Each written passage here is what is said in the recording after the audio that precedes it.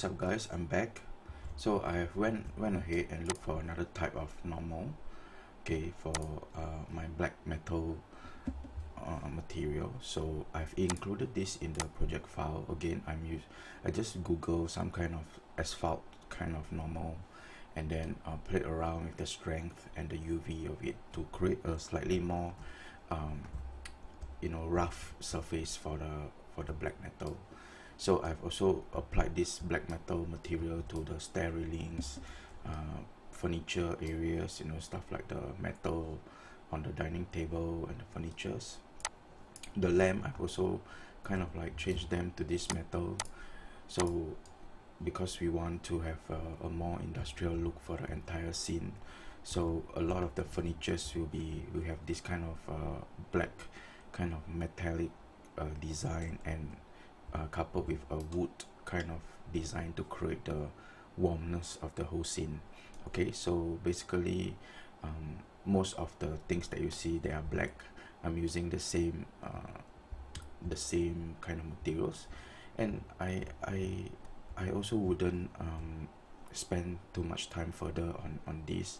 I think is is uh, very good already so the other thing is sometimes you know even though things may not be metallic I will still apply it as a material to the uh, the to to the particular mesh. For example this chair um, what um, is actually I also use the black metal to apply to this particular uh, chair because um, it's, it's, it's a small piece of furniture in the whole scene you know uh, unless you really want to spend a lot of time in into creating different different kinds of materials which sometimes we may not have the time uh, we can just reuse some of these you know so to to make things more effective because these are smaller stuff you know the big ones we just spend a bit more time such as the brick walls and the floor um, and maybe the aluminum pipes and stuff like that. Small small stuff we um, we just reuse you know especially the accessories here. Um, I didn't spend too much time you know creating the materials. In fact I just reuse a lot of them you know so that uh, so it as they don't contribute that much into the scene. Yeah so uh, so that's it for the black metal. Right now I'm going to continue with all the other wood materials so let's move on. Okay so now we're going to work on the wooden floor and on the ceiling okay? So so I've included these two links uh, in the description. So why don't you go ahead and download these uh, textures. This is for the wooden floor this is for the ceilings and uh, normally I just use the 4k uh, in this project for for both the floor and the ceiling. Um, so I want to encourage you to create this material for yourself the method to do this has uh, uh, I have covered it uh, in creating the brick material. So uh, there's nothing special or, or nothing extra that I use to create these wooden floors and, uh, and ceilings. So why don't you go ahead download and create them in your project and then uh, I'll see you in the next section. Okay so I have created the wooden floor okay and also the ceilings. Again there's nothing really special about how I created them it's just um, what I have taught you previously by doing a texture coordinate node. In fact I also didn't create a normal multiplier or normal strength node you know and use the default values.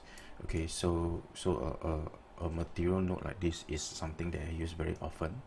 Okay same thing for the ceiling nothing special.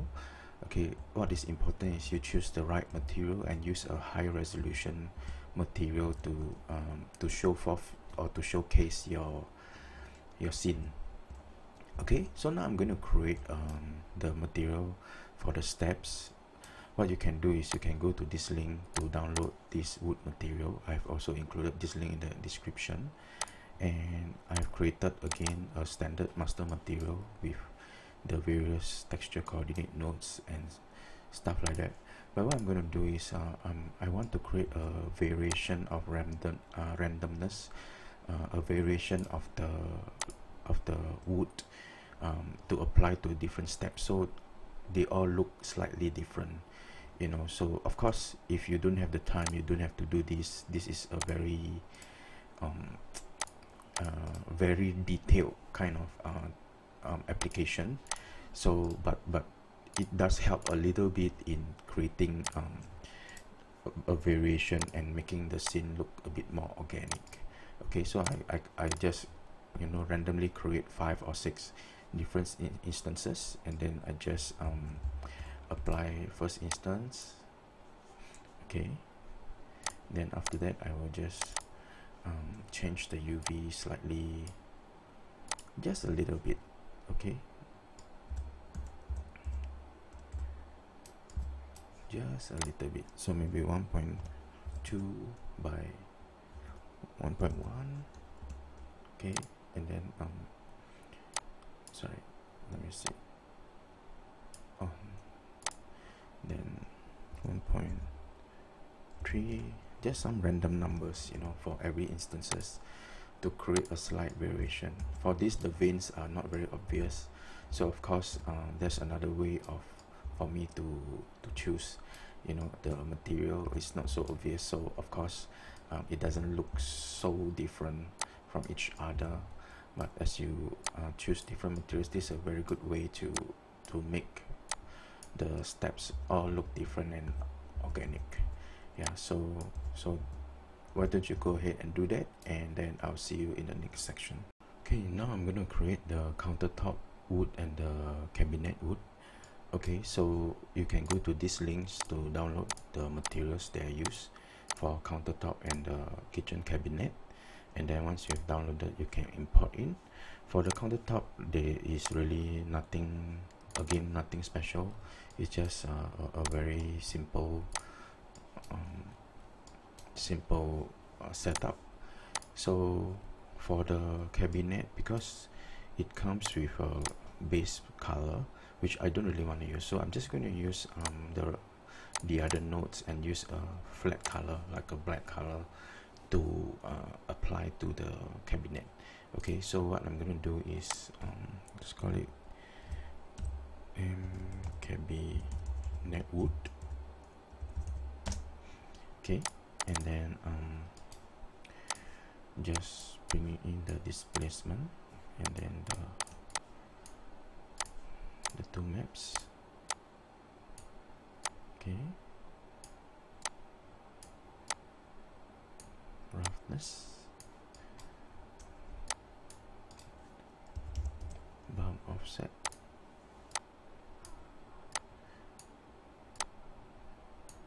Okay so you see just without applying any color I can still get a, a nice looking wood material with a black uh, surface on it. So so yeah so let me continue to add a constant tree okay. Uh, to finish off the wood I don't want it to be totally black but just a slight gray will will be nice. Okay a dark grayish color. Right and uh, I can apply this to the kitchen cabinet. Okay course if again if you want to make it look more um, look more organic you can like what we did for the steps we create a different variation of uh, the same materials. Okay so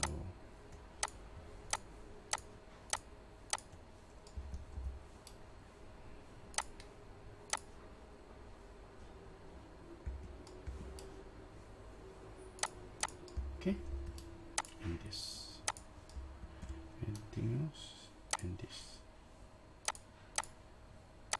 yeah so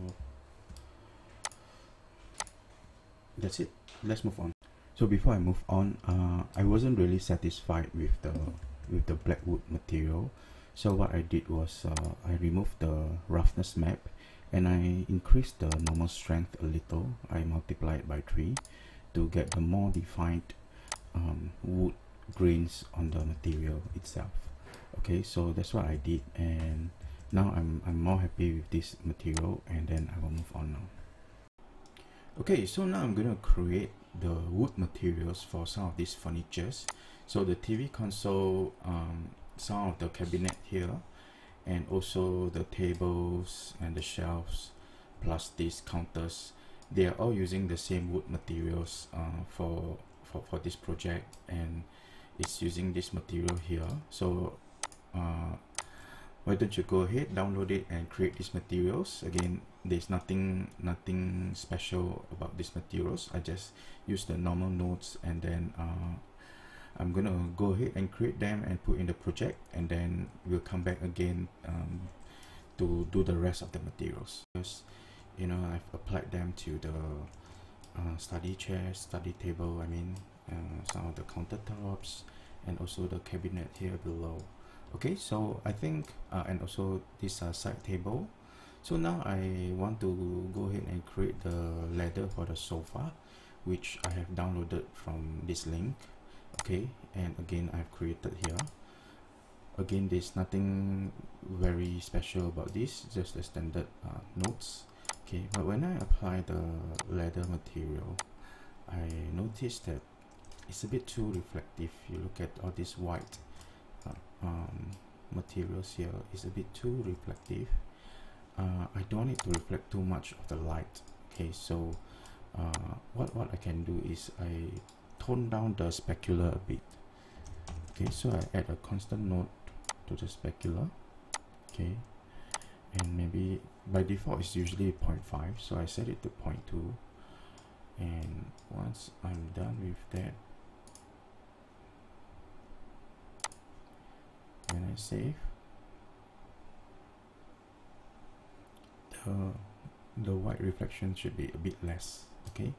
So um, I also noticed that for the I don't quite like the UV for this side. So let me create a texture coordinate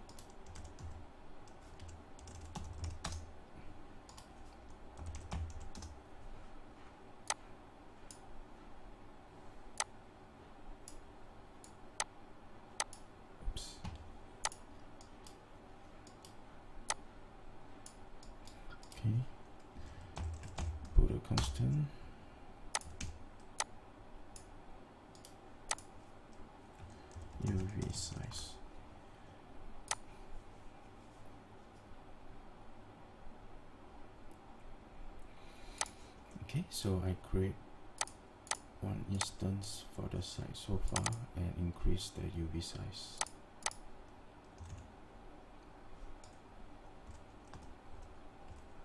Hmm, yeah this looks better.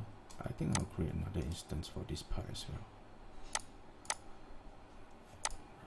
rather than creating instance I duplicate it and change it to maybe 3 yeah that's much better. Okay so uh, apply the rest of the materials to the sofa. Don't worry about all this black you know black splotches. Later we'll fix it when we build the light. Uh, but apply the materials to the sofa and to the to the study chair here. Okay and I'll see you in the next section okay so I'm done with the sofa. Um, looking good. Um, next I want to look at the leaf. You see the leaves here they are they look a bit funny because when uh, Unreal Engine import them they are imported as a translucent material. So in in general foliages in Unreal Engine we use the we don't use translucent we use uh, opaque blend mode but we use a two-sided foliage okay? So once you turn on the two-sided foliage you will have a new node uh, somewhere around here called subsurface. Um, you're not going too deep into into foliages so I just plug it plug the original diffuse map into the subsurface color okay once you are done with that it should look a lot better after that. Okay so that's that's it for leaves. Uh, do take note of that. So now we're going to do the blanket and fabrics in general like uh, the bean bags and stuff. So basically I'm just going to show you uh, how I do the fabric using the cloth renderer in Unreal Engine. And then for the rest uh, you can either use your own Google images for the pillows you know or you can download from uh, CC0 textures some of the fabric materials. Okay they are the same way to create and I leave you to your own creativity to um, to put the materials for the fabric. But how do we use the cloth material? Basically oh sorry uh, basically we just create a new material and fabric blanket and then after that bring in the cloth roughness and normal. Okay. And shading model we use cloth. Okay. Then we input the base color to both the base and the fuzz color. Okay.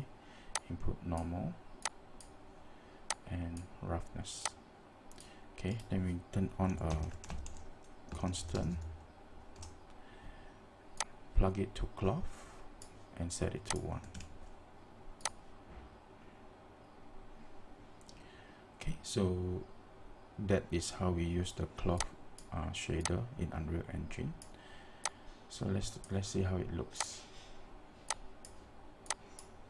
Okay so I think I'm happy with this and I'll leave you to create the rest of the fabric uh, by yourself okay? And then when we come back we'll look a bit little bit more about emissive stuff okay? See you in the next section. So I created the fabrics um, for the pillows the bean bags um, and other stuff you know uh, the blankets and all these things. So I just want to add on for the for the pillow. It came with a mask okay so how I use the mask is that um, basically I just change the rendering uh, the blend mode to mask instead of opaque. And then I I put in the the mask into the opacity mask okay? So that will give us some of these holes uh, that are in the pillow okay? So that's how I did it and so if you haven't done so complete all the materials that require fabric and then we'll come back and we'll look at creating bulbs and stuff like that. Okay see you in the next section.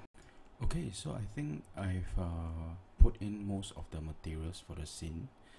There's just a little bit left on you know some of the accessories uh, and, and small little things like the computer screen and stuff like that I'll leave you to experiment with them. Uh, you can put in whichever materials you like. And in the next lesson we will continue with lighting up our scene. And then we will have our final project to show forth. Okay I'll see you in the next video. So before we end, I just want to share a bit more on how you can support the channel. So first of all, um, all the PowerPoint files that we use in this tutorial, you can download it. So when you download the PowerPoint files and any project files that we give to the channel through Gumroad, your email will be um, captured by us. So we will send some marketing materials in the future if you allow us to do so. Of course, you can choose to opt out, but this will help us in our marketing efforts. Of course, um, the final UE4 project file, uh, it will be for sale as well. So if uh, it is it is priced at a usual tutorial cost fee, but this is absolutely not compulsory. So if you feel you want to support the channel, you can get the UE4 project file um, for a price. So all these links uh, as we are preparing for the YouTube uh, videos. We will slowly add all these files into our Gumroad page. So some are not ready yet, some are already can be downloaded. So you can refer to the YouTube description for the links to where to download these project files. And also, I just want to share with you the way to contact us. We have a YouTube channel um, you can contact us directly through email and of course the easiest way to find us actually is through our Facebook channel you can directly message us so these are the links to where you can contact us. If you have any questions you need any help uh, feel free to just look for us. Uh, of course um, if you can remember to subscribe to our channel and click on the notification button. So when we post a new video you'll be notified. Thank you and I'll see you in the next lesson